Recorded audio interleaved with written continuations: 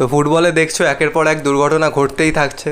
তো কালকে আরেকটা এরকমই দুর্ঘটনা ঘটেছে, চেক রিপাবলিক ইন্টারন্যাশনাল জোসেফ সুরাল যার মাত্র উনত্রিশ বছর বয়স ছিল, একটা বাস অ্যাক্সিডেন্টে উনি মারা গেছেন।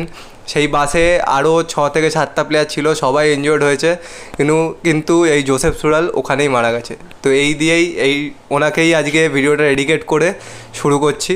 তো প্রথমেই আসি India under fifteen versus Mexico under ফিফটিনের match ছিল, সবাই জানো।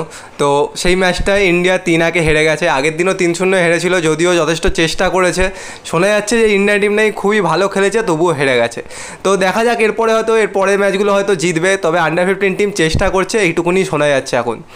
এরপরে আসি ইন্ডিয়ান জুনিয়র্স ফুটবল লিগে। মানে ওমেন্স ফুটবল লিগে তো সেটার হাফ খবর আগের দিন পুছে বলেছিল। তো ফাইনালে উঠেছে ঝাড়খণ্ড আর হিমাচল প্রদেশ, এদের দুজনের মধ্যে ফাইনাল হবে। যে জিতবে, সে কিন্তু ইন্ডিয়ান ওমেন্স লিগ জুনিয়র মানে জুনিয়র ওমেন্স লিগের চ্যাম্পিয়ন হবে। এবার আসি কিছু ট্রান্সফার নিউজে কার্লস পেনা এফসি গোয়ার, ও এক বছর কন্ট্রাক্ট এক্সটেনশন করেছে আর তার মানে এফসি গোয়াতেই পরের সিজনেও আইএসএলে দেখা যাবে। তো দু হাজার কুড়ি অবধি কার্লস পেনা এফসি গোয়াতেই থাকছে। তারপরে আরেকটা নিউজ যাকে কলকাতায় খেলতে দেখেছ আগে, বাজি আরমান মানে সবাই যাকে বাজো বলে চেনো, ও কিন্তু আমাদের সিএফএলে খেলবে, আর সিএফএলে শোনা যাচ্ছে মহামেডান এসসির হয়েই খেলতে পারে। তো এটা কিন্তু একটা ভালো খবর যে, আগে যাকে দেখতে পেয়েছ আই লিগে কলকাতার টিমের হয়ে খেলতে, এই বছরে যাকে রিয়াল কাশ্মীর হয়ে ভালো খেলতে দেখতে পেয়েছ, তো সেরকম লেভেলের একটা প্লেয়ার কিন্তু সিএফএলে দেখা যাবে। তারপরে আরেকটা বড় news Willis Plaza highest scorer জানো? চার্চিল ব্রাজার হয়ে এবার হায়েস্ট স্কোরার উইলিস প্লাজা আর পেড্রো মাদি সেই উইলিস প্লাজাকে কিন্তু লোনে পাঠাচ্ছে চার্চিল ব্রাদার্স বাংলাদেশ প্রিমিয়ার লিগে মানে ও কিন্তু মানে ছেড়ে চলে যাচ্ছে না, কারণ বাংলাদেশ প্রিমিয়ার লিগ এখনও চলছে। মোটামুটি দশটা না এগারোটা ম্যাচ বাকি।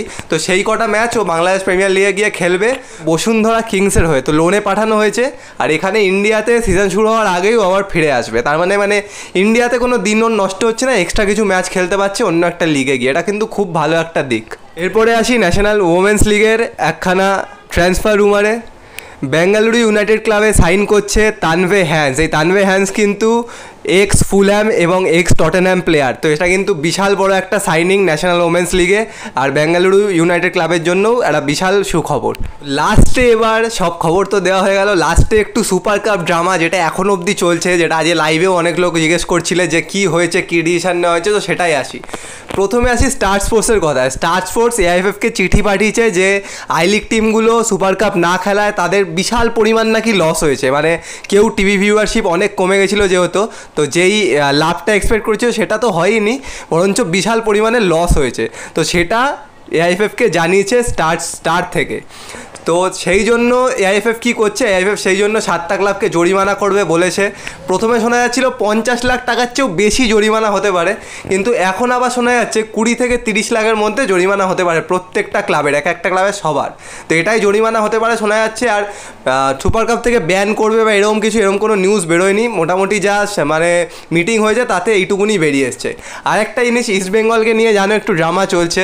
সেই ইস্ট বেঙ্গলের কোয়েসের তরফ থেকেও লোক গেছিল আর ক্লাবের তরফ থেকেও অফিসিয়ালরা গেছিল তো জানানো হচ্ছে যে কোয়েসের তরফ থেকে যে মিটিংটা হয়েছে সেটাকেই অফিসিয়াল হিসেবে মানা হবে, কিন্তু ক্লাবের তরফ থেকে যেটা হয়েছে সেটা অফিসিয়াল হিসেবে মানা হবে না।